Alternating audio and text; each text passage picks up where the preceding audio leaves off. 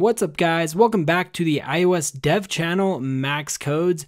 In this video, we're going to be taking a look at what Swift UI is and we're going to be going through all the key points that are here on the documentation. Now, I'm sure a lot of you are probably wondering, where is the code? I want to learn how to use this. And I'm actually going to be showing you how to do this first thing tomorrow morning. So if you're watching this, go ahead and check out the description to see the tutorial link that I'm uploading tomorrow morning. All right, now in this video, we're just going to take a look at what it is and how we're actually going to be able to use it in the videos I'm going to be uploading throughout this week. Okay, now Swift UI was announced today by Apple at Worldwide Developer Conference 2019, also known as WWDC 19 or 2019. All right, so now that I've told you about the Swift UI tutorial that I'm going to link in the description, let's go ahead and read a bit on this developer documentation. You'll see that the first big point is declarative syntax, okay? So Swift UI uses a declarative syntax so you can simply state what your user interface should do. This makes it extremely simple, right? All you have to do is say, hey, we want this property, we want this property, right? Right here you can see we have image, we have text, we have text. Now the syntax obviously doesn't make a ton of sense initially, but I've used it and I'm gonna show you how to do that tomorrow morning, okay? But the point here is that your code is simpler and easier to read than ever before, right? Now, again, obviously it's not easy to read yet, but it will tomorrow, okay?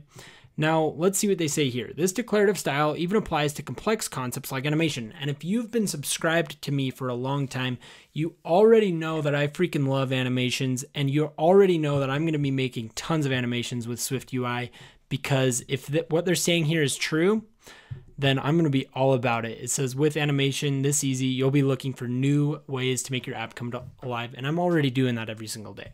So I'm pretty stoked about the declarative syntax and animate how that works with animations.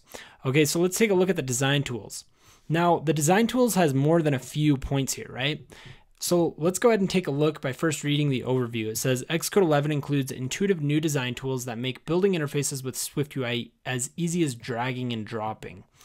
All right, so the first thing I think about this is storyboards, right? And I I just really dislike storyboards. You probably know that about me if you've been watching my videos for a while or taking my courses, but I'm willing to be a little open about this because Swift UI seems pretty dope already. Okay, let's go ahead and take a look at this. It says, as you work in the design canvas, everything you edit is completely in sync with the code in the adjoining editor. Okay, so that sounds like playgrounds but maybe this is an actual working version of Playgrounds because you all know that Playgrounds really didn't work very well.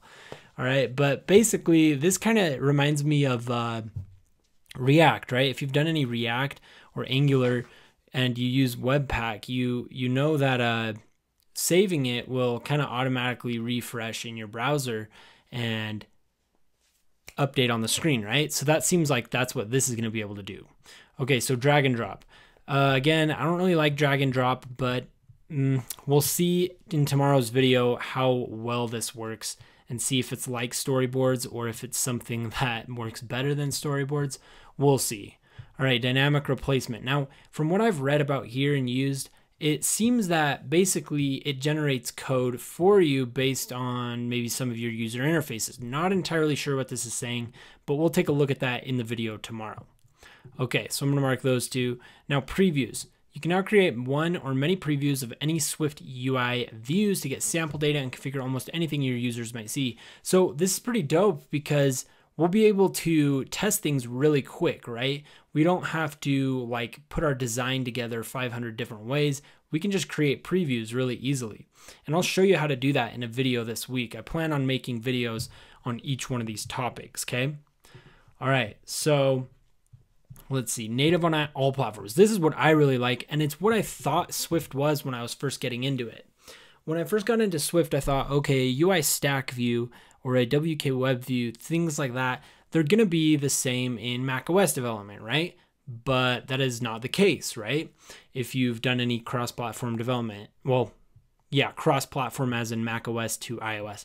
But essentially, Swift UI allows us to write the same code for Mac applications, iPhone applications, uh, iPad applications, watch applications, and TV applications. So that's super dope, and I really look forward to that. So again, that's it for this video. Very quick video on some of the new things in Swift UI, or all the new things in Swift UI, and how we might be able to use them in tomorrow's videos and the next videos throughout this week. Okay. So I truly look forward to seeing you in that next video. If you're watching this tomorrow, go ahead and check out the description for the code tutorials on Swift UI. Let's go ahead and learn everything about this. I'll see you in just a second.